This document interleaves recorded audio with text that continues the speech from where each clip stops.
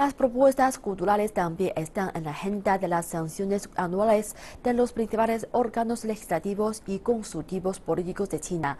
Entre ellas encontramos iniciativas para ampliar los ámbitos temáticos en el teatro y el cine y otras orientadas a proteger el patrimonio cultural intangible de la nación. Más detalles a continuación.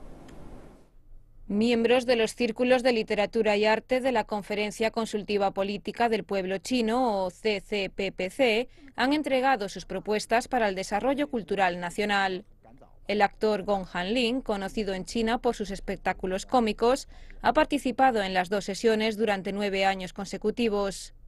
A la edición de este año llega con dos propuestas debajo del brazo una para prevenir la violencia en las escuelas y otra para ampliar los ámbitos temáticos en el teatro y en el cine.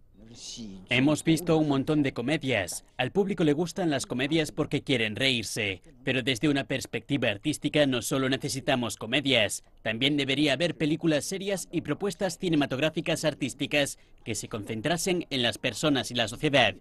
La diversificación de géneros nos ayudará a mejorar la apreciación artística. La protección de la cultura tradicional es otro de los temas importantes que abordarán los círculos de literatura y arte de la CCPPC.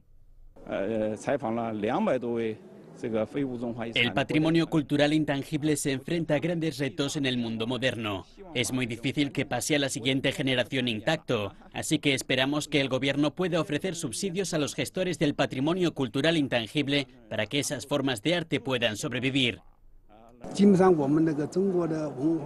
La cultura china tradicional sufre una especie de marginación fuera de China. Nosotros debemos seguir promoviendo la cultura china y hacer que el mundo vea la esencia de China.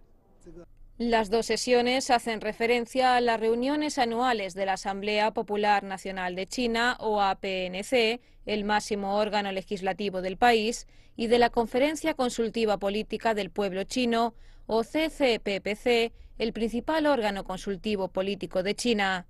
En conjunto, este año se han presentado más de 700 propuestas.